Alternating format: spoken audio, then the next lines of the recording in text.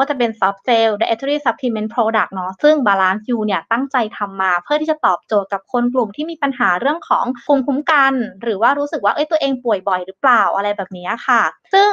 หลักๆ แล้วอะในสารสกัดที่ทางบาลานซ์แบรนด์เลือกใช้สำหรับตัว BLU เนี่ยค่อนข้างเป็นสารสกัดที่ค่อนข้างพรีเมียมเลยแหละ ใช้คำว่าเป็นสารสกัดที่ให้คุณประโยชน์อะค่อนข้างเยอะกับร่างกาย แล้วก็เป็นหลาย ๆ ตัวที่ในตลาดอาหารเสริมอะค่อนข้างนิยมใช้เป็นอย่างมาก อย่างตัวแรกเลยเนี่ยจะเป็นตัว rice germ oil หรือว่าเป็นตัวน้ำมันจมูกข้าวนะคะ ซึ่งแน่นอนเราคงได้ยินชื่อของน้ำมันจมูกข้าวมาเยอะมาก แล้วทำไมวันนี้บาลานซ์แบรนด์ถึงหยิบน้ำมันจมูกข้าวเนี่ยมาทำเป็นผลิตภัณฑ์อาหารเสริมให้กับทางบาลานซ์แบรนด์ เพราะว่าเราเล็งเห็นนะคะว่าตัวน้ำมันจมูกข้าวหรือว่า rice germ oil เนี่ยมันมีคุณประโยชน์อะค่อนข้างเยอะ มีค่าอนุมูลอิสระค่อนข้างสูง ทำไมเราถึงให้ความสำคัญกับสารต่อต้านอนุมูลอิสระ หรือว่าสารที่มีฤทธิ์ต่อต้านอนุมูลอิสระ เพราะว่าร่างกายเราปัจจุบันเนี่ยเวลามันเจอมลภาวะเยอะมากๆเนี่ยมันจะเกิดภาวะที่เรียกว่าสเตรสหรือใช้คำว่าเกิดฟรีอะดิคอลหรืออนุมูลอิสระในร่างกายเกิดขึ้นเยอะ ไม่ว่าจะเป็นการเจอแสงอะแสงไฟก็ได้ไม่ต้องถึงขั้นแสงแดด แน่นอนแสงแดดเจอทุกวันอยู่แล้ว ฝุ่นควันหรืออะไรก็ตามอะค่ะ มันเป็นอะไรที่เข้ามาในร่างกายได้ตลอดเวลา เพราะมันเข้ามาในร่างกายค่ะ มันจะเกิด ทำให้ร่างกายเนี่ยสร้างสารอนุมูลอิสระเกิดขึ้น ดังนั้นเราจึงจำเป็นต้องหาสารต่อต้านอนุมูลอิสระค่ะ เข้ามาให้กับร่างกายของเราค่ะ ซึ่งสำหรับตัวไรเจิมออยเองเนี่ยเขาก็จะมีสารที่มีผลต่อสุขภาพค่อนข้างเยอะ ในน้ำมันจมูกข้าวเนี่ยจะมีสารอาหารที่ดีต่อสุขภาพจำนวนมากจริง ๆ ในงานวิจัยเนี่ยเขามีการทำงานวิจัยเกี่ยวกับการดูเลยนะว่าในน้ำมันจมูกข้าวเนี่ยมันมีสารตัวอะไรบ้างที่เป็นประโยชน์กับร่างกาย อันนี้ก็พยายามกรุ๊ปมาให้ดูนะว่ามีตัวอะไรบ้างที่มีประโยชน์กับทางร่างกายนะคะ อย่างแรกเลยก็คือเป็นตัว phytosterol อันนี้เราได้ยินชื่อมานานแล้ว อันนี้เขาจะมีบทบาทสำคัญในการช่วยลดปริมาณคอเลสเตอรอลหรือไตรกลีเซอไรด์ในร่างกายได้เนาะตัวต่อมาคือ oryzanol แน่นอน oryzanol ค่อนข้างมีบทบาทสำคัญเกี่ยวกับเรื่องของการบำรุงสมอง ในเรื่องของความจำซึ่งการดูแลเรื่องของสมองและก็ความจำเนี่ยมันเป็นผลมาเนื่องจากเราสามารถกระตุ้นการไหลเวียนของโลหิตอะค่ะ ในร่างกายได้ค่อนข้างดี ฉะนั้นการลำเลียงออกซิเจนไปทั่วร่างกายเนี่ยจะเกิดขึ้นได้อย่างมีประสิทธิภาพเนาะต่อมาคือตัว tocopherol ตัว tocopherol เนี่ยจะเป็นตัวที่สำคัญมากในการใช้กำจัดสารอนุมูลอิสระ ซึ่งเราเกริ่นมาตั้งแต่แรกแล้วเนาะว่าร่างกายเราเมื่อใช้ชีวิตไปเรื่อยๆเนี่ยสารอนุมูลอิสระในร่างกายมันค่อนข้างเยอะ ฉะนั้นตัว tocopherol ที่มีในน้ำมันจมูกข้าวเนี่ยมันจะสามารถกำจัดสารอนุมูลอิสระเหล่านั้นได้นะคะ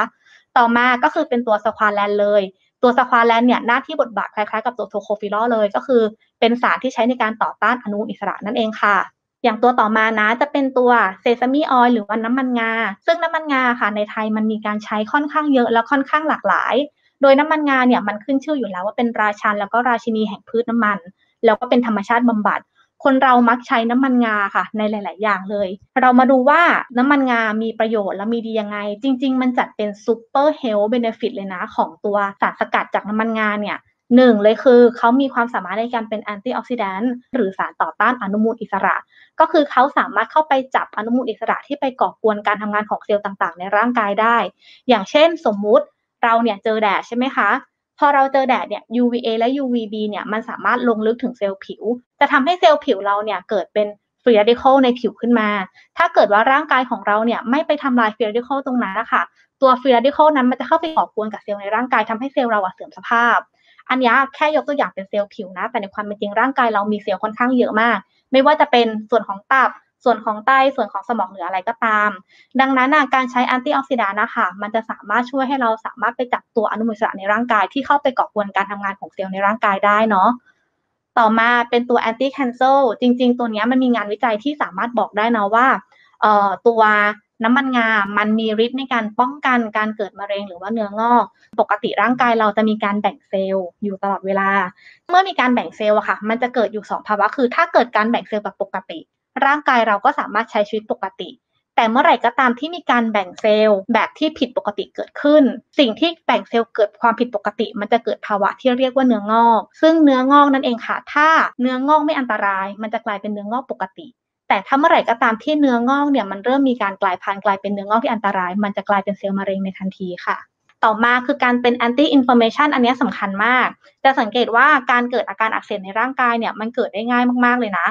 อย่างเช่น คนเราหนึ่งคนเมื่ออายุมากขึ้น เรามีอาการเจ็บข้อเข่าเอ้ยอาการเจ็บหรืออาการบาดเจ็บตรงนั้นนะคะเราจะเรียกว่าอาการอักเสบซึ่งตัว BLU เนี่ยเขาสามารถไปช่วยบรรเทาอาการอักเสบ ซึ่งการที่จะบรรเทาอาการอักเสบได้ เราจะจับหรือวัดผลได้จากการที่อาการเจ็บมันจะลดลงหรือเปล่า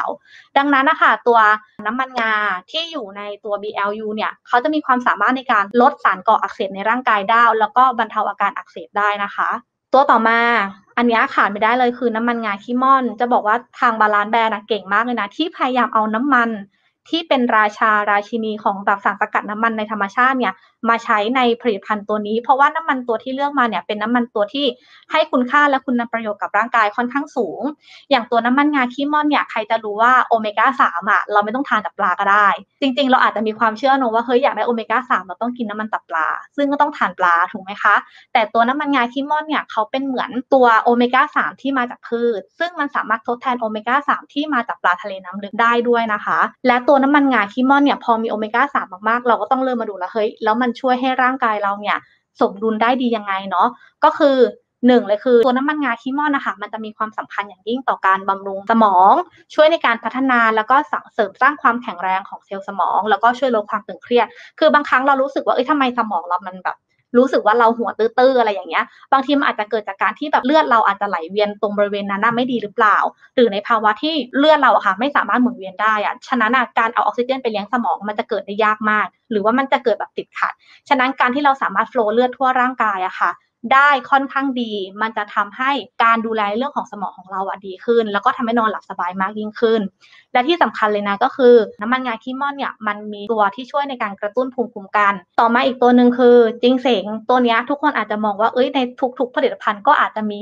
แต่ทางวาลานแบรนด์มองแล้วว่าก็ในเมื่อมันมีทุกผลิตภัณฑ์ และมันเป็นตัวที่ค่อนข้างดีมากๆ เป็นสารสกัดจากส่งที่คนไทยทุกคนยอมรับ เขาก็เลยดึงตัวจริงเสียงเอ็กแทรนี้แหละค่ะ เข้ามาอยู่ในผลิตภัณฑ์ ซึ่งมันจะมีสรรพคุณด้านของการบำรุงสุขภาพร่างกาย ดูในเรื่องของสมดุลร่างกาย คือจริงเสงอะในอาหารเสริมประเทศไทยมองไปทางไหนอะก็เจอเข้าร้านยายังไงก็ต้องเจอจริงเสงแต่จะบอกว่าจริงเสงเนี่ยมันจะมีส่วนประกอบ ที่เป็นสารสำคัญในจิงเสงอะหลายชนิดมากๆ แล้วตัวที่ทางบาลานแบรนด์เลือกมาเนี่ยก็เป็นตัวจิงเสงที่ให้ค่าสารสำคัญที่เป็นชนิดของจินเซนโนไซด์หรือว่าสารสำคัญในจิงเสงเนี่ยที่ค่อนข้างหลากหลาย จะเห็นว่าในงานวิจัยเนี่ยมันจะมีการระบุด้วยว่าในตัวจิงเซโนไซด์แต่ละชนิดเนี่ยมันจะมีความสำคัญในการช่วย ในระบบต่างๆ อะไรในร่างกายได้บ้าง อย่างเช่น RB1 RB2 หรืออะไรพวกนี้คือสามารถดูตามตารางได้เลยนะคะ ความสำคัญมันคือ มันจะช่วยเสริมสร้างการทำงานของระบบประสาทส่วนกลาง ช่วยในเรื่องของอ่าหลอดเลือดหัวใจ ดูแลในเรื่องของลดปริมาณน้ำตาลในร่างกายลงได้ ช่วยในเรื่องของการป้องกันการแบ่งเซลล์ที่ผิดปกติที่เป็นสาเหตุของการเกิดมะเร็ง แล้วก็ช่วยในการเพิ่มการไหลเวียนของเส้นเลือดค่ะ ตัวจริงเสงเนี่ยแน่นอนอยู่แล้วมันเป็นโสมที่เป็นวัตถุดิบทางธรรมชาติ ที่เขาสามารถใช้ในการบำรุงร่างกาย ซึ่งถ้าเขาไม่ดีจริงอะค่ะ มันไม่มีทางหรอกที่เขาจะใช้กันมาอย่างยาวนานตั้งแต่ในอดีตจนถึงปัจจุบันถูกไหมคะโอเค อย่างตัวต่อมาเนี่ยจะเป็นตัว cordyceps extract ก็คือตัวสารสกัดจากถังเช่า เป็นตัวที่พรีเมียมมากๆ ในยุคก่อนแล้วก็ยุคปัจจุบัน ตัว Balance Brand เองเขาก็คัดสรรวัตถุดิบจากแหล่งที่ดีที่สุด เพื่อที่จะทำให้ผลิตภัณฑ์ของเขาเนี่ยเป็นผลิตภัณฑ์ที่ดีที่สุดเหมือนกัน ตัว cordyceps เป็นอีกตัวหนึ่งที่มองซ้ายมองขวาในร้านขายยาจะเจอผลิตภัณฑ์เนี้ยเยอะมากๆ แต่ส่วนมากเขาก็จะอยู่เป็นผลิตภัณฑ์เดี่ยวๆเนาะแต่ตัว Balance Brand เนี่ยเขาก็สามารถเอาตัว cordyceps เนี่ยเข้ามาอยู่ในรูปแบบของ soft gel ได้ ซึ่งตัว Balance Brand เนี่ยถ้าไปนั่งลองหาข้อมูลนะเขาจะมีงานวิจัยหรือว่าข้อมูลเกี่ยวกับเรื่องของ immunity หรือระบบภูมิคุ้มกัน ในเรื่องของหัวใจและปอดในเรื่องของไตจริง ๆ มันเคยมีงานวิจัยว่าตัวถังเช่าเนี่ยมันจะสามารถ ต้านอาการอักเสบที่มาจากอาการภูมิแพ้ อย่างเช่น ถ้านึกภาพออกนะ สมมุติว่าถ้าเราแพ้เกสรดอกไม้ แล้วเราอยู่ใกล้เกสรดอกไม้ เราจะเกิดภาวะที่มีน้ำมูก มีน้ำหู มีน้ำตา รู้สึกแสบจมูก ถูกไหมคะ ซึ่งอาการเหล่านั้นน่ะมันคืออาการอักเสบจากตัวที่เราแพ้ ตัวถังเช่าอะค่ะ มันจะมีฤทธิ์ในการที่จะไปต้านอาการอักเสบอะเหล่านี้ก็คือเขาจะไปกระตุ้นให้ระบบภูมิคุ้มกันในร่างกายเนี่ยมันแข็งแรงขึ้น พอถ้าเกิดระบบภูมิคุ้มกันในร่างกายมันแข็งแรงขึ้นนะคะ มันจะสามารถไปยับยั้งอาการแพ้หรืออาการอักเสบอะค่ะที่เกิดขึ้นจากเกสรดอกไม้นั้นๆน่ะได้ อันนี้เป็นการยกตัวอย่างเบื้องต้นนะคะ ของอาการภูมิแพ้จากชนิดใดชนิดหนึ่งที่ทำให้เกิดอาการอักเสบ แล้วก็ตัวถังเช่าอะสามารถเข้าไปช่วยได้ โอเค ต่อมาชิตาเกะพาวเดอร์เขาจะเรียกง่าย ๆ เลยคือเป็นเห็ดทางการแพทย์ที่เขายกย่องให้เห็ดเหล่านี้เป็นเห็ดทางการแพทย์เพราะมันมีการใช้กันมาอย่างแพร่หลายอยู่แล้ว ซึ่งการใช้อย่างแพร่หลายตรงนั้นแหละมันทำให้มีงานวิจัยเกิดขึ้นเยอะมาก ว่าเห็ดทางการแพทย์ที่เป็นตัวชิตาเกะเนี่ยมันจะสามารถดูแลในเรื่องของระบบภูมิคุ้มกันในร่างกายได้ เขามีงานวิจัยว่าเขาสามารถเพิ่มภูมิคุ้มกันของร่างกายได้ โดยที่เห็ดชิตาเกะเนี่ยสามารถไปเพิ่มไซโตไคน์ในร่างกาย ซึ่งไปเพิ่มตัวที่ช่วยเกาะ หรือจับตัวที่ทำให้เราเกิดอาการแพ้ อย่างเช่น ถ้าเราแพ้เกสรดอกไม้ เขาก็จะไปช่วยจับตัวที่ทำให้ เรามีอาการแพ้ตรงนั้นอะได้เหมือนกัน ต่อมาเป็นยามาบูชิตาเกะ powder ก็คือเห็ดยามาบูชิตาเกะนั่นเองค่ะ นี่ก็เป็นหนึ่งในเห็ดทางการแพทย์เหมือนกันที่ทาง Balance Brand เลือกใช้ ซึ่งเขาก็จะมีงานวิจัยเยอะมาก ถ้าไปเซิร์ชยามาบูชิตาเกะเนี่ยจะเจอชื่อสายพันธุ์ของมันก็คือฮอริเซียมซึ่งมันจะเป็นเห็ดยามาบูชิตาเกะที่มีการศึกษาว่าเขาจะสามารถช่วยรักษาสุขภาพ แล้วก็มีการรวบรวมและสรุปไว้ในหลาย ๆ ด้านนะคะว่า ตัวเห็ดยามาบูชิตาเกะเนี่ย สามารถป้องกันการเกิดเนื้องอก เพราะอย่างที่บอกไปเลยร่างกายเราแบ่งเซลล์ตลอดเวลาถูกไหมคะ โอกาสในการเกิดเนื้องอกมีเยอะมาก อยู่ที่ว่าการแบ่งเซลล์ผิดปกติตรงไหน ถ้าโชคดีแบ่งเซลล์เป็นปกติเนื้องอกไม่มี ถ้าโชคร้ายแบ่งเซลล์ไปแล้วเจอเนื้องอก แต่ถ้าเนื้องอกไม่เป็นเนื้อร้ายก็ถือว่ายังโชคดี แต่ถ้าเมื่อไหร่ก็ตามเซลล์มีการแบ่งตัว เกิดความผิดปกติ เกิดเป็นเนื้องอก และดันโชคร้ายที่เนื้องอกนั้นเนี่ยกลายเป็นมะเร็ง อันนี้ก็ต้องดูแลรักษากันต่อไป แต่เห็ดยามาบูชิตาเกะเนี่ยมันจะไปกระตุ้นให้การแบ่งเซลล์ของร่างกายเราเนี่ยเป็นไปอย่างปกติ ก็คือทำให้เซลล์เนี่ยไปป้องกันการเกิดการแบ่งเซลล์ที่ผิดปกติของร่างกาย เพื่อให้การเกิดเนื้องอกนั่นเอง ต่อมาคนเป็นเบาหวานอาจจะรู้สึกว่าถ้ากินตัวนี้มันช่วยได้จริงๆไหม ต้องบอกก่อนว่า Balance Brand เนี่ยเขาพยายามคัดสรรวัตถุดิบที่ดีจริง ๆ และมีคุณภาพจริง ๆ แต่เราต้องบอกก่อนนะว่าตัว Balance Brand ไม่ได้ทำยาเพื่อรักษาแต่เราพยายามทำอาหารเสริมที่จะเข้าไปช่วยปรับสมดุลในร่างกาย หรือกินเพื่อเสริมให้ร่างกายเราอะค่ะ ได้รับของที่มีประโยชน์มากขึ้น อย่างยามาบูชิตาเกะที่อยู่ใน Balance U เนี่ยเขาก็มีความสามารถในการที่จะช่วยรักษาสมดุลน้ำตาลในเลือดให้คงที่ คือใช้คำว่าถ้าคุณป่วยเป็นเบาหวานอยู่แล้ว แน่นอนว่าปริมาณน้ำตาลในเลือดมันจะมีความค่อนข้างเหวี่ยงเดี๋ยวขึ้นเดี๋ยวลงเดี๋ยวขึ้นเดี๋ยวลงอยู่แล้วใช่ไหมคะตัวนี้มันไม่ได้บอกว่าไปรักษาเบาหวานให้หายขาดได้ ใช้คำว่ามันมีบทบาทสำคัญในการที่จะเข้าไป เพื่อรักษาสมดุลน้ำตาลในระดับหนึ่ง ฉะนั้นการเห็นผลในคนแต่ละคนมันแตกต่างกันอยู่แล้ว มันขึ้นอยู่กับว่าเราอะมีภาวะเบาหวานนะระดับไหน ซึ่งไอตัวยามาบูชิตาเกะในตัว Balance U เนี่ยเขาก็มีความสามารถในการที่จะแบบรักษาสมดุลได้ในระดับหนึ่งนะคะ แล้วก็ที่สำคัญเลยคือเขามีความสามารถในการช่วยเรื่องของปลายประสาท ฉะนั้นใครที่มีอาการชา อาจจะต้องมีการกินวิตามิน B เข้าไปด้วยใช่ไหมคะ ฉะนั้นอะตัวนี้ก็เป็นตัวหนึ่งที่สามารถกินเพื่อปรับสมดุลตรงนั้นได้นะ แล้วก็ที่สำคัญเลยคือเขาเป็นตัวที่ช่วยต่อต้านอนุมูลอิสระ แล้วก็ยับยั้งการเกิดสารก่ออักเสบ สารก่ออักเสบที่บอกนะคือหนึ่งมาจากอาการที่อาการเจ็บจากการอักเสบ โดนมีดบาด แล้วเกิดภาวะที่บวมเลือดไหลหรืออะไรอย่างเงี้ยค่ะ มันก็เกิดภาวะอักเสบเหมือนกัน ฉะนั้นคนที่สมมติแค่โดนมีดบาดแต่ภูมิคุ้มกันต่ำก็มีโอกาสที่จะเกิดการติดเชื้อได้มากกว่าคนที่โดนมีดบาดแล้วภูมิคุ้มกันสูง ฉะนั้นนะคะในเรื่องของภูมิคุ้มกันอะค่อนข้างจำเป็นมากๆกับยุคปัจจุบันนี้เหมือนกัน ต่อมาอีกตัวหนึ่งที่ขาดไม่ได้เลยก็คือตัวไมตาเกะ powder หรือว่าเห็ดไมตาเกะนั่นเอง อันนี้ก็เป็นหนึ่งตัวเหมือนกันที่เป็นเห็ดทางการแพทย์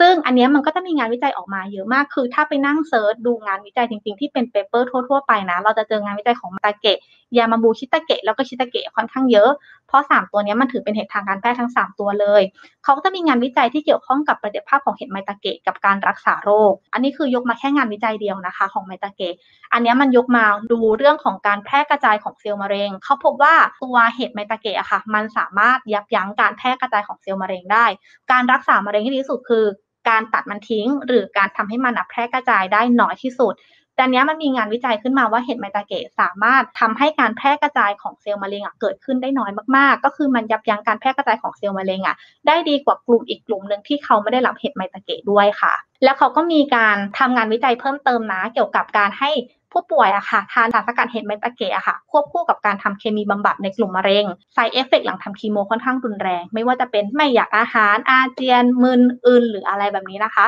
อันนี้จากงานวิจัยนะเขาบอกว่าตัวไมตาเกะอะค่ะ เขาให้ผู้ป่วยกลุ่มที่ทำคีโมทาน ควบคู่กับการทำคีโมเนี่ยพบว่ากลุ่มคนที่ทำคีโม แล้วทานตัวเห็ดไมตาเกะจะมี side effect จากการทำคีโมบำบัดเนี่ยค่อนข้างน้อยกว่ากลุ่มคนที่ไม่ได้รับเห็ดไมตาเกะในการทำคีโมบำบัดค่ะ และมากไปกว่านั้นนะ ตัวเห็ดไมตาเกะเนี่ยมันก็จะมีงานวิจัยเยอะมาก เมื่อกี้ที่พูดถึงเนี่ยอาจจะพูดถึงในแง่ของแค่มะเร็งเนาะแต่จะมีงานวิจัยอื่นๆอีกไม่ว่าจะเป็นเรื่องของ immunity ก็คือเขาสามารถเพิ่มระดับภูมิต้านทานได้ ในเรื่องของการรักษาระดับน้ำตาลในเลือดให้คงที่ ในเรื่องของการป้องกันมะเร็ง อันนี้เราพูดกันไปแล้วเนาะแล้วก็ในเรื่องของการรักษาปลายประสาทแล้วก็ระบบประสาทแล้วก็ลดภาวะเสี่ยงการเป็นอัลไซเมอร์ในกลุ่มผู้สูงอายุด้วยนะคะ ต่อมาสารสกัดจากขิง ตอนแรกอะเราเข้าใจว่า ตัว Balance U เนี่ยต้องการที่จะทำสินค้าขึ้นมาเพื่อแบบตอบโจทย์ในกลุ่มคนที่อยากดูแลสุขภาพองค์รวมหรือว่า overall health ถูกไหมดังนั้นมันขาดไม่ได้อยู่แล้วกับขิง ซึ่งบางคนอาจจะมองว่าเป็นแค่สารสกัดง่ายๆทำไม Balance Brand ถึงพยายามเอาตัวขิงเนี่ยลงมาในสารสกัดเหล่านี้ จริงๆ แล้วอะสำหรับขิงอะมันดูเป็นตัวง่ายก็จริง แต่มันเป็นตัวที่มีคุณประโยชน์อะค่อนข้างเยอะอยู่แล้วและเป็นที่ยอมรับมากๆ อย่างแรกเลยนะคือ คนที่ทานขิงเขาทานเพราะว่ามันมีความสามารถในการช่วยรักษาระดับน้ำตาลในเลือดให้คงที่ เอาง่าย ๆ นะ อย่างเช่น ถ้าเราเป็นคนปกติที่ไม่ได้ป่วยเป็นเบาหวานก็ได้ เมื่อเรามีการกินอาหารขึ้นไปอะค่ะอาจทานข้าวปกติ เรารู้เนาะว่าข้าวเมื่อเวลาย่อยอะค่ะ มันจะกลายเป็นน้ำตาล เมื่อร่างกายเราได้รับน้ำตาลหรือทานข้าวปกติอะกราฟน้ำตาลในร่างกายเราอะจะพุ่งสูงขึ้น เมื่อไหร่ก็ตามที่อินซูลินเราอะทำงานได้ดี มันก็จะเก็บไปหมดเลย พอเราเก็บไปหมดอะค่ะกราฟน้ำตาลที่พุ่งสูงขึ้นมันจะตกหวบทันที พอกราฟน้ำตาลมันตกหวบสิ่งที่เกิดขึ้นคือ ร่างกายเราจะมีภาวะหิวหรือโหย คือปกติเวลาร่างกายเราขาดน้ำตาลต่อให้เราท้องอิ่มอะเราจะรู้สึกว่าทำไมหิวอีกแล้วถูกไหมคะแต่ตัวจิงเจอร์หรือว่าตัวขิงเนี่ยมันมีบทบาทสำคัญคือ เมื่อร่างกายเราน้ำตาลไป เขาจะมีความสามารถในการทำให้น้ำตาลในเลือดคงที่ ก็คือกราฟมันจะค่อนข้าง เป็นแนวระนาบเพื่อให้น้ำตาลเนี่ย มันยังคงที่อยู่ในกระแสเลือดแล้วค่อย ๆ ลดลง แต่ถ้าเมื่อไหร่ก็ตามที่ร่างกายเราควบคุมน้ำตาลไม่ดีนะ เมื่อเรากินขึ้นไปกราฟจะสูงขึ้น แล้วพอผ่านไประยะหนึ่งอะค่ะ การรักษาสมดุลตรงนี้ไม่มีการน้ำตาลจะตกลง ฉะนั้นเนี่ยการที่ทำให้ร่างกายเราอะมีระดับน้ำตาลที่คงที่คือหนึ่งก็คือร่างกายเรานั่นเองเนาะกับ 2 คือการเลือกทานอาหารที่ค่อนข้างมีประโยชน์และสามารถพยุงกราฟในร่างกายของเราได้เนาะแล้วก็เขามีความสามารถในการช่วยรักษาเรื่องของความดันโลหิต แล้วก็เรื่องของระดับน้ำตาลในคอเลสเตอรอลได้อีกด้วยค่ะ ต่อมาจะเป็นสารสกัดจากพลูคาว จริง ๆ ตัวนี้ได้ยินชื่อมานานมากๆแล้วว่า ตัวพลูคาวเนี่ยจะมีสารสำคัญในกลุ่มฟลาโวนอยด์แล้วก็เป็นตัวโพลีฟีนอลอะค่อนข้างเยอะมากๆ อันนี้มันจะเป็นกราฟจากงานวิจัยเลยนะคะว่า ตัวฟลาโวนอยด์หรือว่าตัวโพลีฟีนอลในพลูคาวมันมีตัวอะไรบ้าง เพราะว่าตัวพวกนี้มันค่อนข้างแยกย่อย อันนี้มันก็จะมีคนที่จับเอาพลูคาวเนี่ยไปวิจัยเลยว่าในพลูคาวเนี่ยมันมีสารสำคัญตัวไหน พวก quercetin rutin หรืออะไรพวกนี้ในพลูคาวอะจะมีค่อนข้างเยอะ แล้วก็พอไปดูอีกจริงๆเนี่ยมันจะมีงานวิจัยออกมาว่าตัวสารสกัดพลูคาวเนี่ยมันจะมีสารที่ค่อนข้างอุดมไปด้วยสารที่เป็นประโยชน์ต่อร่างกายค่อนข้างเยอะ แล้วก็ใช้ดูแลสุขภาพองค์รวมของร่างกาย อย่างเช่นภูคาวเนี่ยมีสรรพคุณในการช่วยดูแลโรคผิวหนังฝีรักษาแผลฆ่าเชื้อโรคเห็นไหมคะว่าภูคาวค่อนข้างเกี่ยวเนื่องกับเรื่องของระบบภูมิคุ้มกัน ต่อมาภูเข้าเนี่ยมีฤทธิ์ในการต้านไวรัสหลายชนิด ซึ่งการที่เราจะต้านไวรัสหลายชนิดเนี่ยมันค่อนข้างเกี่ยวเนื่องกับระบบภูมิคุ้มกันเหมือนกัน แล้วก็3เลยคือ anti cancer จริง ๆ ตัวนี้ก็ค่อนข้างเกี่ยวเนื่องกับระบบภูมิคุ้มกันเหมือนกัน ฉะนั้นถ้าสังเกตดีๆนะ คนที่ภูมิคุ้มกันแข็งแรงอะค่ะ เขาจะมีความเสี่ยงในการเกิดมะเร็งอะค่อนข้างน้อยกว่ากลุ่มคนที่ภูมิคุ้มกันอะบกพร่อง ต่อมาจะเป็นตัวสารสกัดจากเห็ดหลินจือ หรือตัว Ganoderma นะ จริง ๆ Ganoderma เนี่ยหรือหลินจือเนี่ยเขาจะมีสารสกัดที่ให้คุณค่าทางโภชนาการอะค่อนข้างสูง ก็คือมีสรรพคุณอะค่อนข้างเยอะ อย่างกลุ่มที่เราดูว่าเป็นสารสำคัญของตัว Ganoderma นะก็จะเป็นตัวโพลิแซคคารายตัว triterpenoid หรืออะไรพวกนี้นะคะ ซึ่ง จากงานวิจัยเนี่ยเขาพบว่าสารสกัดจากเห็ดหลินจือมีสารสำคัญอะหลายชนิดมากที่นำมาทำงานวิจัย จากตารางหน้านี้มันจะเป็นงานที่เป็นการรวบรวมงานวิจัยหลาย ๆ ฉบับมาไว้ในฉบับเดียว ว่าเขามีการวิจัยตัว Ganoderma หรือหลินจือเนี่ยในเรื่องของการดูแลรักษาโรคอะไรบ้างอย่างกรอบแรกเนี่ยจะเป็นตัว anti cancer ก็คือ anti การเกิดเซลล์มะเร็งเนาะต่อมาคือ immuno เพราะมีงานวิจัยเยอะมากที่ศึกษาเกี่ยวกับGanoderma ในกลุ่มระบบภูมิคุ้มกัน ต่อมาจะเป็นตัว anti inflammatory ก็คือ มันสามารถยับยั้งอาการอักเสบในร่างกายได้ Ganoderma เป็นสาร antioxidant ได้ อันนี้ก็คือจะเป็นงานวิจัยที่เยอะมากเกี่ยวกับตัว Ganoderma ซึ่งมันก็เป็นการการันตีได้ว่า สิ่งที่ทางตัวแทนเลือกเนี่ยก็เป็นสิ่งที่ดีที่สุด และทาง Balance Brand ก็พยายามเลือกสิ่งที่ดีที่สุดให้กับทางตัวแทนเหมือนกันค่ะ อันนี้ก็จะเป็นอีกหนึ่ง paper เหมือนกันที่เขาจะมาสรุป ว่าตัวเห็ดหลินจือเนี่ยมันมีสารสำคัญอะไร แล้วมันช่วยเรื่องอะไร อย่างตัวแรกคือ beta-D-glucan beta-D-glucan เนี่ยมันสำคัญมากเกี่ยวกับระบบภูมิคุ้มกันถูกไหมคะ เพราะว่าร่างกายเราเนี่ยมันจะมีตัวดักจับเชื้อโรค เราจะเรียกว่าเซลล์เม็ดเลือดขาว เมื่อไหร่ก็ตามที่เซลล์เม็ดเลือดขาวเราแข็งแรงอะค่ะภูมิคุ้มกันของเราอะจะแข็งแรงมากขึ้น ก็คือเม็ดเลือดขาวสามารถดักจับตัวสิ่งแปลกปลอมที่เข้ามาในร่างกายของเราอะได้ ซึ่งตัวเบต้าดีกูแคนที่มีอยู่ในตัวหลินจือเนี่ยมันสามารถทำให้เซลล์เม็ดเลือดขาวอะแข็งแรงได้ ต่อมา Ganoderic Ganoderic เนี่ยมันจะสามารถยับยั้งการทำงานของฮิสตามีนได้ ไอตัวฮิสตามีนนี่แหละที่เป็นตัวสำคัญที่ทำให้ร่างกายเรามีอาการต่างๆ ในการแพ้ อย่างเช่น เมื่อฮิสตามีนปล่อยออกมาเนี่ยมันอาจจะมีอาการแบบถ้าเราแพ้อากาศก็จะแบบมีอาการจามไอน้ำมูกไหลปวดศีรษะอะไรแบบนี้ค่ะ ต่อมาถ้าพูดเรื่องของ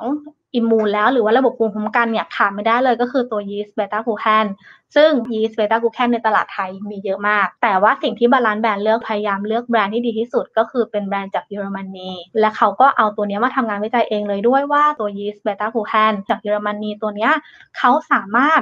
ลดอัตราการเกิดโรคทางเดินหายใจในกลุ่มทดลองได้ อันนี้เขาเอากลุ่มทดลองมา 2 กลุ่ม กลุ่มหนึ่งคือทานยีสต์เบต้ากลูแคนอีกกลุ่มหนึ่งคือไม่ทานยีสต์เบต้ากลูแคนจากการทดลองอะมันปรากฏว่ากลุ่มคนที่ได้รับยีสต์เบต้ากลูแคนเนี่ยมีโรคเกี่ยวกับทางเดินหายใจอะลดลง ในกลุ่มคนที่ไม่ได้รับยีสต์เบต้ากลูแคนเนี่ยมีโรคเกี่ยวกับทางเดินหายใจอะเพิ่มมากขึ้น ที่เห็นเลยนะคะว่าตัวยีสต์เบต้ากลูแคนเนี่ยค่อนข้างสำคัญ แล้วก็มีบทบาทสำคัญเกี่ยวกับโรคทางเดินหายใจ ต่อมาเป็นยีสต์เบต้ากูแคนเนี่ยมันชื่อว่าเยสติมูลถามว่าเอ๊ะแล้วทำไมเขาถึงดีกว่าเบต้ากูแคนในท้องตลาดทั่วๆไป เพราะว่าตัว Yestimun นะคะมันไม่ใช่ยีสต์เบต้ากูแคนปกติ แต่ว่ามันมีโครงสร้างสามมิติเลียนแบบธรรมชาติ ใช้คำว่ามีความบริสุทธิ์ที่ค่อนข้างสูงคำว่าเลียนแบบธรรมชาติ หรือเป็นโครงสร้างสามมิติอะค่ะ มันหมายถึงว่าเป็นสารที่ไปเลียนแบบ แบบเดียวกับที่พบบนตัวเชื้อโรค เมื่อมันมีความสามารถในการที่จะเรียนแบบกับตัวเชื้อโรคได้ หรือมีโครงสร้างสามมิติที่แตกต่างจากเบต้ากูแคนทั่วไปอะจะทำให้มันเนี่ยสามารถป้องกันการเกิดอาการแพ้ต่างๆ ภายในร่างกายที่เราได้รับตัวเชื้อหรือว่าได้รับตัวสิ่งแปลกปลอมเข้ามาในร่างกายได้ และเขายังสามารถกระตุ้นแล้วก็ป้องกันเซลล์อื่น ๆ ได้อีกด้วย อย่างเช่น เขาสามารถเสริมสร้างภูมิคุ้มกันให้ตอบสนองต่อเชื้อให้ไวยิ่งขึ้น ถ้าจะสังเกตคือร่างกายเราอะค่ะ ไม่ใช่แค่มีตัวที่มาจับเชื้อโรคในปริมาณเยอะ แต่การถูกกระตุ้นจะต้องเกิดขึ้นได้เร็วด้วย เมื่อไหร่ก็ตามที่ภูมิคุ้มกันในร่างกายอะกระตุ้นได้เร็ว เพื่อมาจับกับตัวสิ่งแปลกปลอมได้เร็วเท่าไหร่ภาวะการติดเชื้อหรือภาวะการแพ้ของเราอะก็จะเกิดขึ้นได้น้อยลงเท่านั้น ซึ่งตัวเยสติมูนะคะมันสามารถกระตุ้น ให้ตัว B เซล T เซลซึ่งเป็นตัวที่จะจับกับตัวสิ่งแปลกปลอมเนี่ยทำงานได้เร็วยิ่งขึ้น ฉะนั้นภาวะการแพ้มันจะขึ้นได้น้อยลง ต่อมาคือโคเอนไซม์ Q10 ซึ่งโคเอนไซม์ Q10 เนี่ยมันเป็นโคเอนไซม์ Q10 ที่เราเลือกเป็นกลุ่มที่เป็น ubiquinone ซึ่งเหมือนกับธรรมชาติที่ร่างกายสังเคราะห์ขึ้นมา มันจะมีบทบาทสำคัญในการที่จะเพิ่มพลังงานให้กับภายในร่างกาย อย่างเช่น วันหนึ่งถ้าเรารู้สึกว่าเราล้า แปลว่าแบตในเซลล์ของเรากำลังจะหมด การที่แบตในเซลล์กำลังจะหมดเราต้องกลับไปดูแล้วว่าเอ๊ะหรือเพราะภูมิคุ้มกันของเราวันนั้นมันไม่ค่อยดี วันไหนก็ตามที่ร่างกายเริ่มอ่อนแอ หรือว่ารู้สึกว่าเอ้ยทำไมวันนี้เหมือนฉันจะเป็นหวัด บางทีต้องกลับไปดูว่าเฮ้ยหรือเป็นเพราะแบตในเซลล์ของฉันกำลังจะหมด แล้วก็ภูมิคุ้มกันของฉันกำลังจะหายไป ตัวโคเอนไซม์ Q10 มันอาจจะไม่ได้ช่วยโดยตรงเกี่ยวกับเรื่องของ immune แต่มันจะช่วยได้อย่างมากในการช่วยเติมพลังให้กับตัวเซลล์ทำให้เซลล์ของเราอะมันกลับมาฟื้นฟูได้ดียิ่งขึ้น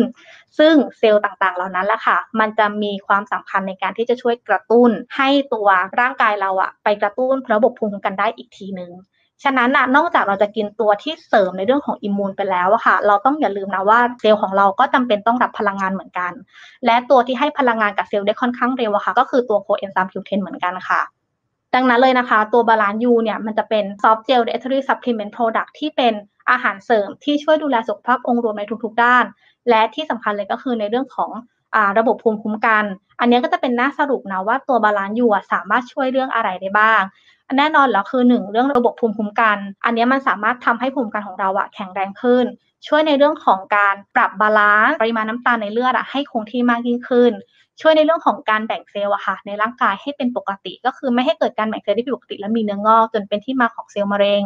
ที่สำคัญเลยคือ มีสารต่อต้านอนุมูลอิสระที่ค่อนข้างสูง ฉะนั้นนะเวลาที่ร่างกายอะเจออนุมูลอิสระที่เข้ามาทำลายเซลล์ต่างๆ ของร่างกาย ตัว Balance U จะสามารถช่วยไปจับกับตัว free radical หรืออนุมูลอิสระเหล่านั้นได้ทำให้ร่างกายเราหรือเซลล์ของเราอะสามารถทำงานได้อย่างปกติค่ะฉะนั้นนะคะสำหรับตัว Balance U อะมันก็จะเป็นตัวที่ ช่วยในเรื่องของสุขภาพองค์รวม ใครที่รู้สึกว่ามีปัญหาเกี่ยวกับเรื่องของแบบ immunity นะ หรือว่ารู้สึกว่าร่างกายเราอะค่อนข้างอ่อนแอ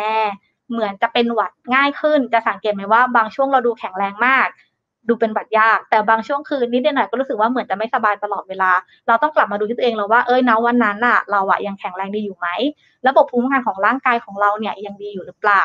ถ้ามันไม่ดีแล้วเราก็ต้องปรับที่การกินของเรา ออกกำลังกายมากขึ้นไหม หรืออาหารเสริมดีๆสักตัวหนึ่งอะค่ะ มาเพื่อช่วยดูแลร่างกายเราค่ะ